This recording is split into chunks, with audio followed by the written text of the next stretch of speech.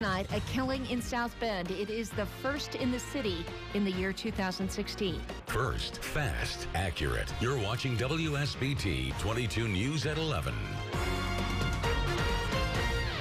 Good evening, everybody. I'm Diane Daniels. The search is still on for a killer tonight. Following an early morning attack in South Bend, it's the first violent death of the year for the city of South Bend.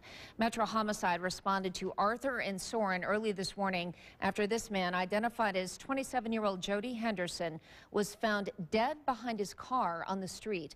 Police say the victim had been staying in the 1200 block of Sorin.